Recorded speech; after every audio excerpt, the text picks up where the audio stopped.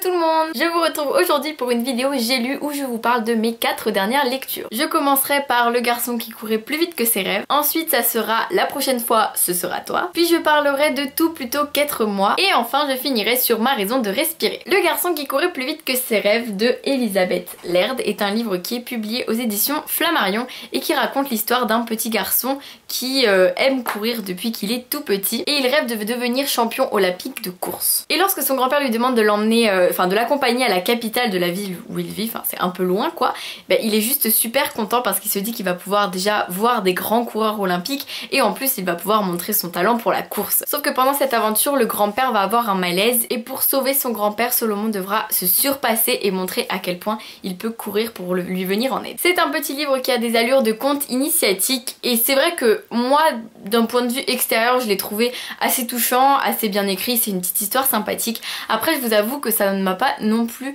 trop impressionnée, j'ai trouvé que c'était assez simple. Et même si je me dis que la plupart des enfants qui liront pourront apprécier euh, ce livre qui montre euh, plein de petites émotions d'enfance, le fait d'être attaché à ses grands-parents, le fait de vouloir venir en aide à sa famille, le fait d'avoir des rêves qui peuvent peut-être devenir réalité, tout ça est très très bien euh, exprimé dans ce livre. Mais en même temps j'ai trouvé que c'était pas non plus hyper passionnant lorsque je l'ai lu. Et j'avoue que ça m'a un petit peu déçu donc c'est pas un livre dont je ressors vraiment super heureuse de l'avoir lu, je pense que si je l'avais pas lu ça ne m'aurait pas non plus manqué. Et c'est vraiment dommage. Après voilà, c'est peut-être une lecture qui ne m'a pas plu parce que je suis trop grande mais c'est même pas ça, c'est vraiment qu'il y a quelque chose qui m'a manqué. Peut-être que ça a manqué un petit peu d'émotion, que l'auteur a voulu en mettre mais que c'était pas assez approfondi. Et c'est ce qui m'a euh, le plus euh, déçu. Et du coup voilà, je me dis que c'est une lecture qui ne m'a pas non plus transcendée. Et c'est dommage.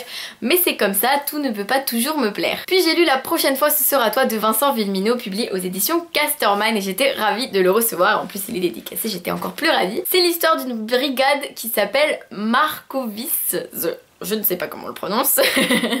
Donc il y a un commissaire et il y a ses enfants et il y a son ex-femme et il se trouve que ce commissaire euh, est dans une euh, brigade où il traite des cas euh, d'attaque de ghouls. Donc les ghouls ce sont des hommes qui sont malades, qui sont infectés en quelque sorte, on peut penser à une, enfin comme un truc zombie quoi. Et en gros ils se transforment et à ce moment là ils deviennent totalement enragés et ils veulent tuer tout le monde. Et il se trouve que la fille du commissaire est menacée et donc de là se déroule une enquête où on voit vraiment différents personnages. Donc on va suivre le personnage de la fille qui est menacée, donc qui doit vraiment faire attention. Mais on suit surtout les personnages de la brigade qui sont tous tellement uniques et tellement amusants tout en étant terriblement touchants en fait parce que ça dépend vraiment de, du point de vue euh, avec lequel on les regarde. Ce que j'ai adoré dès le début c'est rentrer dans le livre et reconnaître tout de suite la plume de Vincent Vimino lorsqu'il traite de ses personnages et j'ai trouvé ça génial.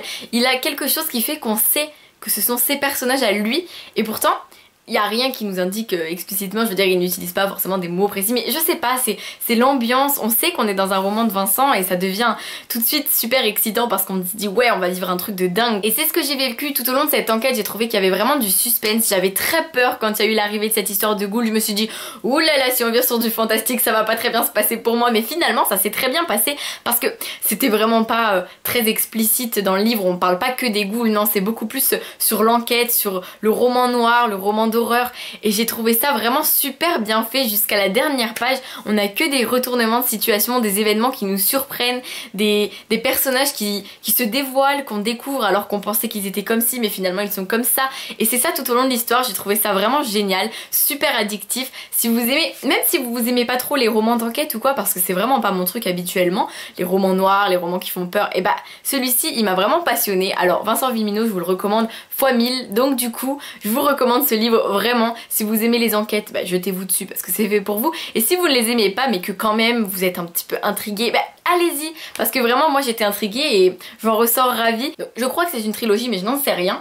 Mais il y aura une suite et ça me ravit parce que je ne suis pas prête de quitter ces personnages tout de suite. J'ai enfin lu tout plutôt 4 mois de Ned Vizini publié aux éditions La Belle Colère. Il y a un film qui existe aussi et je compte le voir pour vous faire une vidéo du livre film donc ne vous inquiétez pas, ça arrivera. C'est l'histoire de Craig Gilner qui est un adolescent un peu comme nous même s'il s'est toujours senti un peu différent des autres, un peu dans un monde à part. Il a quand même des amis, il a quand même une il a quand même une vie qui au niveau normal a l'air d'être euh, bah, comme les autres en fait.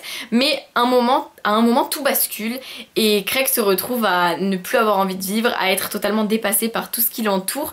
Et il finit par avoir envie de se suicider parce qu'il ne pense plus qu'à ses devoirs et aussi à la petite copine super jolie de son meilleur ami. Dans ce livre, on suit justement cet adolescent qui est vraiment perdu et qui souffre de dépression adolescente. Donc il intègre l'une des plus prestigieuses écoles de New York mais il n'arrive pas du tout à suivre tout ça. Il n'arrive pas à savoir si c'est ce qui lui convient vraiment et on va suivre cette sorte de descente aux enfers. On va essayer de comprendre comment ça a pu lui arriver, quel a été l'élément déclencheur de tout ça et on suit aussi bah, tout cet espoir qu'on ressent sur euh, est-ce qu'il va s'en sortir, est-ce qu'il va réussir à, à revivre comme avant, à aimer la vie comme il l'aimait Et pour ça, on va découvrir des personnages absolument follement drôles, même s'ils sont malades, dépressifs, pas bien, pourtant ils nous transmettent une joie de vivre qui est assez incroyable, assez contradictoire avec toute la situation justement, et c'est ce que j'ai le plus apprécié dans ce livre. On se retrouve avec un personnage qui finalement nous ressemble parce que nous aussi à l'adolescence on a pu se sentir un peu perdu, mais pour lui c'est vraiment un point de non-retour, c'est un point où il a besoin de consulter, où il a besoin d'être suivi, où il a besoin d'être vraiment soigné, et on se dit oh mon dieu ça va être un livre où on va faire que pleurer tout le long, on va se dire que c'est trop triste, on va se dire que c'est horrible.